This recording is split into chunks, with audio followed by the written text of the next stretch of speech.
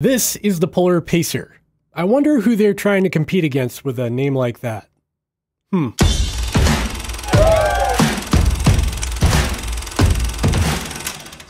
Well, hey there, welcome back to my channel. I'm Dave from Chase the Summit, and today we're going to be taking a close look at the brand new Polar Pacer and Pacer Pro. The Pacer and Pacer Pro are purpose built to be streamlined and simplified without too many frills or fluff on top, and these two devices come in at two different price points with two different feature sets, starting at $199 for the Polar Pacer and $299 for the Pacer Pro that I have here. And of course, that's in US dollars, that might vary where you are. I've been testing out this Pacer Pro for a couple couple of weeks, taking it on my everyday runs, on trail runs, road runs, some hiking, and just around the house with general wellness data. And in this video, I want to share my thoughts with my initial thoughts with you on what I think about it so far and how it stacks up to the competition. Before we dive in though, if you find this video helpful or educational or just entertaining, consider hitting that thumbs up button and subscribing to the channel down below because that really helps me out. And also, if you're interested in picking up a Pacer or Pacer Pro, I'll have links down there that you can click on for the best pricing available. They do help support my channel, but they cost nothing extra to you. At first glance, the Pacer and Pacer Pro are nearly identical. Polar sent me the Pacer Pro, however, which is the more expensive version, so that's what I'll be showing off in this video. But because the Pacer and Pacer Pro are so similar, I'll be talking about both and going through the specs of both as we go through this video, and then sharing near the end what's actually different between the two. Okay, so the lower priced Pacer will come in at four different colors. You got a purple, teal, white, and black version, and the Pacer Pro comes in five colors where you've got gray, blue, maroon, green, and white. And of course, all those colors have fancy names like Mystic Maroon, I'm just calling them what they are. Both new devices are exactly the same size, coming in at 45 millimeters in diameter and about 11 and a half millimeters thick and weighing only 40 grams. But there is one asterisk there. The Pacer Pro I have here is actually one gram heavier than the baseline Pacer, and that's because it actually has a metal bezel where the Pacer, the standard one, is made completely out of plastic. These dimensions put these watches at a pretty good sweet spot in terms of size for most people's wrists, but at a super light weight, at just 40 grams, you're gonna barely notice that on your wrist. That is a very lightweight watch. And if you're curious, this is what the Pacer Pro looks like on my 165 millimeter circumference wrist. In terms of build quality, of course, the Pacer and Pacer Pro come in with a waterproof rating up to 50 meters, so that's fine for uh, pool swimming, open water swimming, anything like that, just no deep water diving. Both the Pacer and Pacer Pro come with a variety of built-in sensors. You've got GPS plus GLONASS, Galileo, QZSS for positioning during your activities, and this is actually an updated antenna design for the Pacer and Pacer Pro. We'll talk about accuracy of this a little later on this video. They also have a built-in compass. Flipping the watch over, you can see Polar's updated Precision Prime heart rate sensor featuring red, orange, and green LEDs. This heart rate sensor is a bit different than previous models like on the Polar Vantage V2 and the Polar Grit X Pro, where on the Polar Vantage V2 that I have here, you can see that the heart rate sensor kind of sticks off the back of the watch a little bit. But if we look at the Polar Pacer Pro, it's actually flush with the plastic on the back of the watch, which does make it a little bit more comfortable on your wrist. One thing to note about the Polar Pacer Pro and Pacer is that there is no built-in SpO2 or blood oxygen saturation sensor, and this has kind of become industry standard at this point, at this price point. Next to that new heart rate sensor, you will find little metal contacts for charging. You've got two big magnets in there, and then four little contacts for data and power. And there is an entirely new USB charging cable that clips onto here with magnets. It's very secure, and you can dangle the watch from it without an issue. Now, unfortunately, because this is an entirely new charging cable, it's different than the older charging cable I have here, which is more of like a dish shape. And this was for the Polar Grit X and the Polar Vantage V2 and the Polar Vantage M2. Basically, all of the Polar watches use this older round charger. But because they changed the design now, if you're an existing Polar user and you've got a bunch of charging cables laying around, you can't use those with the Polar Pacer or Pacer Pro because it's an entirely new charging design. Both the Pacer and Pacer Pro come with a 5 button button layout for controls, and the buttons themselves have a really nice knurled texture to them. That's a really, it's, it's easy to feel when you're not looking at the watch, and they do have a really confident, inspiring click to them when you click down on them. I do like these buttons overall. They're nice and wide so you can feel them when you're not looking at the watch, like when you're clicking off laps or trying to start or stop an activity. And overall, I do like the button placement and layout design uh, on both watches as well. Moving on to the included bands on the Pacer and Pacer Pro. The included bands come in two different different lengths in the box for big and small wrists, which is a nice touch. So you don't have an, a bunch of extra material flapping around when you're wearing the watch if you have a smaller wrist. The silicone is quite comfortable and stretchy, and along the length of it, there's little holes perforated through it to, for breathability to let that sweat out when you're out doing your activities, which I really like. The band attachment on the Pacer Pro is very similar. I think it might even be the same band as we saw on the Polar Vantage V2 I have here, being the gray color at the bottom here.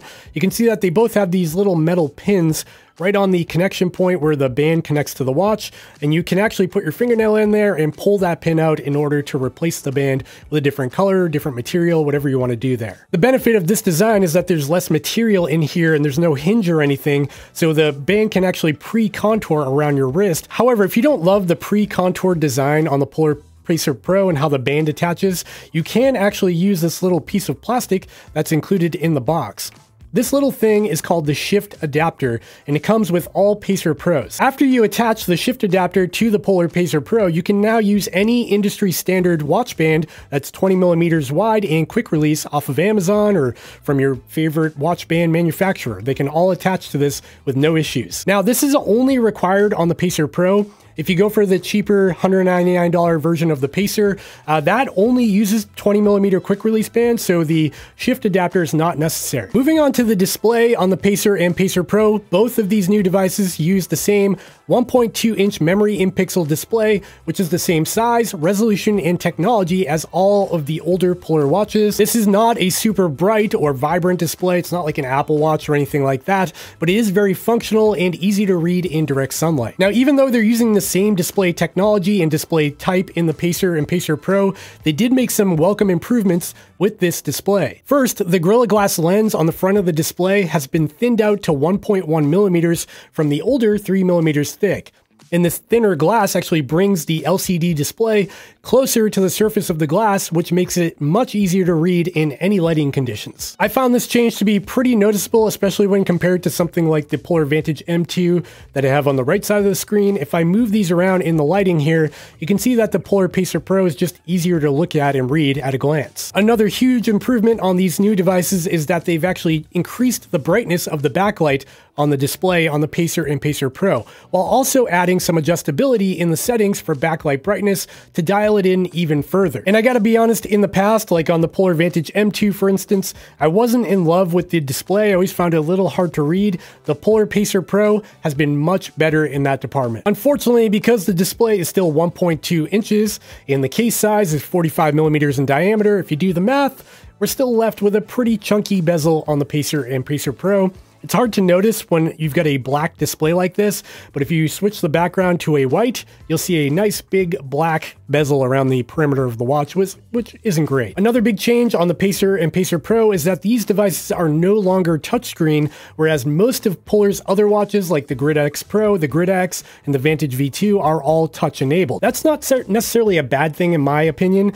I never really used the touchscreen on my Polar Vantage V2, for instance, because I always found it to be kind of laggy and not very responsive. When it comes to battery life on the Polar Pacer Pro and Pacer, they're exactly the same. They both feature a 273 milliamp hour battery that'll provide up to seven days of standby or smartwatch mode, just kind of going around your everyday life. And that's with the optical heart rate sensor turned on 24 hours a day. When it comes to GPS mode, when you're out on a run or a ride, you can get up to 35 hours out of the Pacer and Pacer Pro, or up to 100 hours if you opt to use the power saver settings that'll reduce the accuracy of your GPS track a little bit. These battery life specs are almost exactly the same as the Polar Vantage V2, the Grit Pro, the Grit X, and all of Polar's other watches, so there's not a big departure here. That 35 hours in GPS mode is actually pretty solid and competes against the competition pretty favorably there. It's actually above average, but that 7 days in smartwatch mode isn't very good because if you look at brands like Coros, they've got $200 watches that can last up to 20 days on a single charge.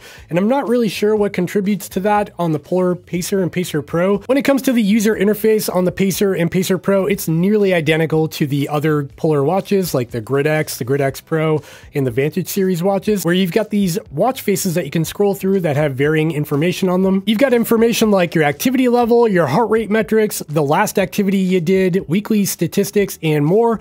Pushing the bottom left button drops you into the system menu where you can start and stop a new activity, check your phone notifications, start a breathing exercise. The user interface on the Pacer and Pacer Pro is somewhat customizable, but not by a lot. You can basically choose what views you want to see, like what of those widgets you want to cycle through by enabling or disabling them in this menu by unchecking the checkbox. And if you go back here, you can also customize the watch face to some extent to be analog or digital, and you can also choose, choose an accent color for the watch face as well. One general observation I've had about the Pacer Pro I've been using for the past couple of weeks is that it's extremely quick and responsive to button presses, whereas I've had some Polars in the past that feel a little bit laggy or sluggish or anything like that. And Polar is claiming that they've got an improved CPU in here that's like two times more powerful with more RAM and stuff. So that's probably what's happening and what I'm feeling. It just feels more modern, responsive, and I do like that overall. When it comes to smartwatch features on the Pacer and Pacer Pro, it's not overly complex, but that's by design to keep the experience simple and to the point of your activities. You can access your phone's notifications along with music controls to pause, skip tracks, and change the volume on your phone from your watch without getting your phone out of your pocket. There's also a really handy weather widget that you can dive into from the watch face that has a full extended forecast with graphics and tons of information, and I really like the weather widget on these Polar watches. There is one huge update to the Polar Pacer and Pacer Pro when it comes to smartwatch features, and it's down to the notifications from your phone. Previously on the Polar Grit X and all the previous models from Polar, when you're in an activity like a run or a ride, it would disable your phone's notifications on your watch, which was super frustrating to me. For whatever reason, Polar decided that they didn't want you to get phone notifications when you're out on an activity. Now, speaking as a guy with four young kids in a house and a family and a wife and a dog, I need to be in contact whenever I can. So being able to re receive phone calls and notifications on my watch is crucial, and it's something that has always driven me nuts with Polar devices in the past. I am happy to report that they've changed this on the Pacer and Pacer Pro, and now in the settings, there's a setting to turn on notifications to be always on, including in your activities, and this is amazing. Now let's talk about the wellness tracking capabilities on the Pacer and Pacer Pro. Both of these watches will track your basic wellness like your daily step count, your calories burned, your activity levels, but they'll also track your advanced sleep metrics using Polar's excellent Sleep Stages Plus and Nightly Recharge features. Now, Nightly Recharge tries to give you an idea of what kind of value you got from your previous night of sleep when it comes to recovery. When it comes to accuracy of the sleep metrics from the Polar Pacer Pro, I don't really have a scientific way of measuring it. However, I can say that it's actually lined up pretty favorably with my Oura Ring, where on most nights, we'll see the same duration of sleep, and the sleep zones kind of fall roughly in line with the Oura Ring as well, which is pretty good. Both the Polar Pacer and Pacer Pro come with the same great library of activity profiles as most other Polar wearables. There's something like 140 different activity profiles to choose from. You've got the basics like running, cycling, and then there's more niche activities like taekwondo and ballet and wheelchair racing. There's really something for everybody here, including multi-sport or triathlon mode, so you can do like a swim, bike, run in a single activity without having to break that up into separate activities. And of course, all these activity profiles have a full set of customizable data pages that you can scroll through and customize during your activity while using the Polar Flow app on your phone to customize all that data. The Polar Pacer and Pacer Pro are also compatible with external Bluetooth sensors like heart rate monitors, power sensors, cycling sensors for cadence and speed. However, there is no support for ANT Plus with these devices, so keep that in mind if you've got a bunch of sensors kicking around at home. When it comes to training tools, tools on the Pacer and Pacer Pro, they come with a full suite. First, you've got a series of fitness tests that you can perform on the fly. There's a running test that will guide you to do a running workout, and then at the end, it will provide a VO2 max estimation. There's a similar test for walking and cycling as well. In terms of accuracy of these, it's been a hit or miss for me. On some occasions, when I do the running test, I'll get a VO2 max of like 65, which I certainly don't have. And then in other situations where I tried the walking test, it was much lower. So it's a little bit all over the place. The Polar Pacer and Pacer Pro also come equipped with Polar's Training Load Pro. Training Load Pro will spell out in basic terms if your fitness is improving or it's kind of going downhill. You can see here on my Polar Pacer Pro that I don't have enough data collected for this to be working yet because I've only had the watch for a couple of weeks.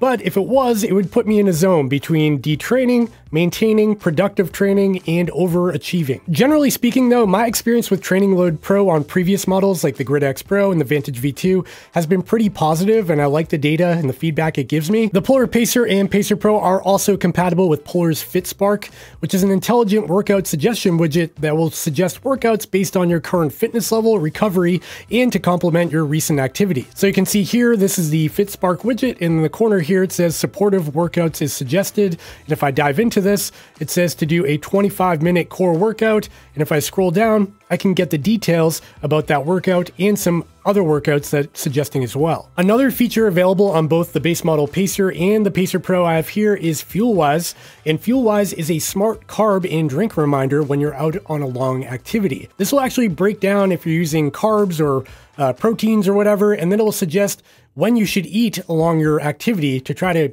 remind you to keep bringing in more resources. And the final thing the Polar Pacer and Pacer Pro have in common is that both are compatible with Polar's running program, where you can set a goal from 5K to marathon, and then the Polar Flow platform actually generates a training plan based on your current fitness level. Okay, we've gotten this far into this video, and you're probably still wondering, what are the main differences between the Pacer and the Pacer Pro? Because they're $100 apart, and so far they basically seem identical, except for slightly different build quality, the price, and the watch band connection. The Pacer and Pacer Pro get everything I just talked about in this video, however, the Pacer Pro does stand out with a few exclusive features. First off, we've got navigation on the Pacer Pro that's not available on the baseline Pacer, and this can be used with Komoot navigation, where you can make routes using the Komoot app or on their website, and then import that into the the Polar Flow platform to follow it on the watch itself. However, you can also just import GPX routes that you downloaded from Strava or whatever, and that can also work on the Polar Pacer Pro. Keep in mind, this is only a breadcrumb navigation. This isn't a full base map where you're to see de details of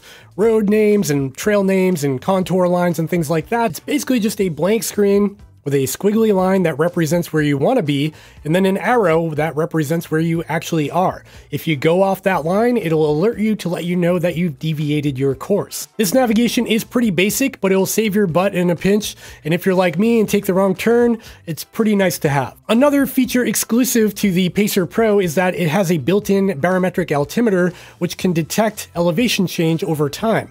And that means that the Pacer Pro also has a feature called Hill Splitter. Hill Splitter basically breaks up all of your climbs and descents during your hiking activity or trail running activity to let you know how many ups and downs you've done along the route. It's actually a pretty cool feature, and then again, this is only available on the Pacer Pro. Another great exclusive feature to the Pacer Pro is that it can actually collect running power data from the wrist with no additional sensors required. This data is a great way of gauging your effort level in, on a given run and can be used in conjunction with heart rate data to get a well-rounded idea of your current performance level. And the final exclusive feature found on the Pacer Pro and not on the base model is that it has Strava Live segments. This is a special data page within your activities that will display your current position and ranking when you're out on a run and on an active Strava segment. This can be a lot of fun, especially if you're trying to get the CR on your local trail. You can glance down and see where you stand on that segment, and it's a pretty cool feature to have as well. And that's really all that's different between these two devices. The Pacer Pro gets the higher end build quality with a metal bezel, the unique band with the included shift adapter, the navigation features, hill splitter, the barometric altimeter, the running power from the wrist, and the live segments from Strava. All that stuff is on the Pacer Pro for that extra $100 more and not available on the baseline Pacer. And finally, let's talk about what might be the most important aspect of any GPS watch, and that's going to be accuracy. First up, let's talk GPS accuracy. Polar claimed that they actually updated the antenna design on the Polar Pacer Pro to get a quicker fix and more accurate GPS performance. In my testing, the fix, that initial fix when I get went out for a run and hit start, was actually pretty quick on the Pacer Pro. And when it came to overall accuracy, I thought it was pretty good. So for testing, I put the Pacer Pro up against the Garmin Tactix 7, which I have here, which has multi-band GPS turned on. And if you don't know, multi-band GPS means that it actually can use multiple bands in order to get a more accurate fix when it comes to GPS accuracy. And in my testing, this is one of the more accurate GPS devices I've ever tested on this channel, so it's a good baseline for comparison. And just for kicks, I also recorded the same GPS track with my iPhone 13 Pro just for an opposing baseline of comparison as well. All in all, I'll say that the GPS accuracy coming out of the Polar Pacer Pro is good. It's definitely adequate and good enough by today's standards. It's certainly not perfect, and a lot of out and back activities where I ran a straight line out, turned around and came back just to see the performance there. The lines weren't right on top of themselves, so that means it's a little bit off, but overall, pretty good. And finally, let's talk about heart rate accuracy from the built-in optical heart rate sensor on the back of the Polar Pacer Pro and how good it performed. Generally speaking, pretty good. So in my testing, I stacked up the Polar Pacer Pro against a bicep heart rate sensor, which is warm, worn up here, and also a chest-based ECG sensor for a baseline of comparison, because these two sensors are super accurate. And all in all, the Pacer Pro held its own pretty accurately, and it looked pretty good and right in line with those other sensors, with a couple of deviations here and there, but nothing major. Generally speaking, pretty solid heart rate performance from the Pacer Pro. So are these worth getting? At the end of the day, should you go out and buy a Pacer or Pacer Pro. Maybe. If you are an existing Polar customer who's primarily a runner and you're looking to upgrade a device that's two or three years old, I think the Pacer and Pacer Pro represent a pretty solid upgrade path that might be worth looking into if you're kind of stuck in the Polar ecosystem. I said that in a bad way, but Polar ecosystem's pretty good. And at the end of the day, it's good to have options, and these devices are pretty solid. It just gets a little bit confusing when there's so many options at these price points. But now I want to hear from you. Are you interested in the Polar Pacer or Pacer Pro? Let me know in the comments down below what features have sold you on these devices. Is it the price? Is it the running power? Or if you're just going to skip these devices entirely and pick up a Coros Pace 2 or some other Garmin. Let me know in the comments down below. All right, we've hit the end of this video. I hope you enjoyed it. And if you did, make sure to give me a thumbs up and subscribe down below because that really helps me out and shows me that you actually liked this video. Also, if you are interested in picking up a Polar Pacer or Pacer Pro, a Coros Pace 2, a Garmin, any device, I'll have links in the description of this video down below that do help support my channel, but they cost nothing extra to use, so use them. That would be great. And that's really it. I gotta go now. I've been talking way too long. I'm losing my voice. All right, I'll see you in the next one. Bye.